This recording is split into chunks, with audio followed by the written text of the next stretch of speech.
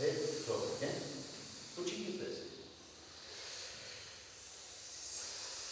Գևորքյան հոգևոր ճեմարանի սաներն այս լսարանում խոսքի արվեստի վարժանք են անում։ Առարկան բոլորովին վերջերս հոկտեմբերի 1-ից է ներդրվել եւ ոչ պարտադիր ծրագրով։ Տեսուչի հրավերով դասավանդում է դերասան Երևանի թատրոնի եւ կինոյի պետական ինստիտուտի ռեժիսուրայի եւ դերասանի վարպետության ամբիոնի պրոֆեսոր Դավիթ Հակոբյանը։ նոր բան է ջերմանանում եւ կարծում եմ շատ կարեւոր բան է վերջին հաշվով քահանաները ապագա եպիսկոպոսները վարդապետները պետք է տիրապետեն նախ իրենց գիտելիքների փոխանցման արվեստին իսկ քահանայի բուն գործը ինչ է խոսքն է ոչ մի գիտելիք արժեք չունի, եթե գիտելիքը չես կարողանում լսելի դարձնել մեկ ուրիշին։ Քարոզը հենց խոսքն է, խոսքը եթե գեղեցիկ չէ, խոսքը եթե հստակ չէ, կարծում եմ անիմաստ է բացապես։ Հիմա, հիմա տոնանությունը փոխեք, որ տարբերությունը զգացեք։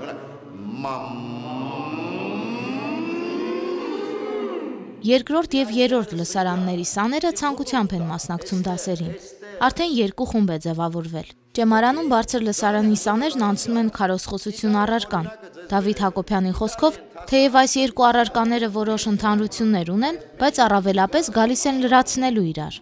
ասում ինչ լավ ռետոր է մարդը, լավ խոսում է, որովհետև նա տիրապետում է խոսքի ձևին։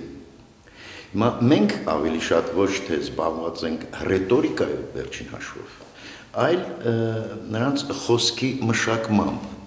որը պետք է նպաստի նրանց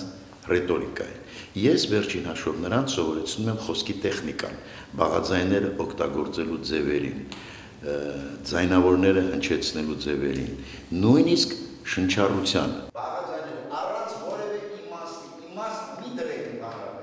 Վարժություններն օգնում են շտկել անգամ լեզվական արատը։ Դավիթ Հակոբյանն այսպես կոչված դասավանդման բաղաձայնային հնչողության մեթոդով է աշխատում։ Մեր լեզվի գաղտնիքը բաղաձայնների մեջ է ասում է նա։ Եթե մենք վարժվենք բաղաձայնները ճիշտ ու հստակ արտասանելուն, մեր խոսքն ավելի գեղեցիկ կհնչի։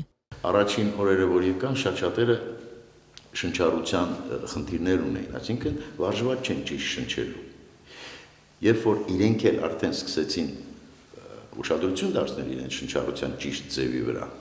արդեն իրենք սկսել են բավական հստակ խոսել։ Եվ նույնիսկ արդեն օրինակ այնտեղ մի վարժություն կա շուտ ասելուկների միջոցով ես իրենց հետ աշխատում եմ իմաստային փոփոխությունների վրա, որ նույն նախադասությունը արտասանելիս կարելի է հազար իմաստ դնել դրա տակ, նույն բառի տակ, նույն բառի տակ։ Եվ արդեն շատ հստակորեն կատարում են այդ խնդիրները, հստակորեն։ Ես շատ զարմացած եմ իհարկե, որովհետև թատերական ինստիտուտում նույնիսկ շատ դժվար է։ Բայց այստեղ ուսանողները շատ, եթե մի բան անում են, անում են միջև վերջ։ Ես որոշ խնդիրներ ունեի լեզվական եւ դա մտահոգում էր ինձ։ Եվ այս առարկան բավականին օգնում է, որպեսզի կարողանամ վարժեցնել իմ լեզուն, կարողանամ ճիշտ խոսել, կարողանամ աստծո խոսքը հասցնել դասընթացների ընթացքում ես սովորեցի ճիշտ արտահայտվել, որովհետև սա լուրջ խնդիր է, երբ որ մարդ ինչ որ pašար ունի գիտելիքի, բայց չի կարողանում ճիշտ արտահայտվել։ Սա արդեն լուրջ խոչ- խոչընդոտ է, իսկ մենք, քանի որ ապագա հոգեորականներ ենք, մեզ համար սա շատ կարևոր է։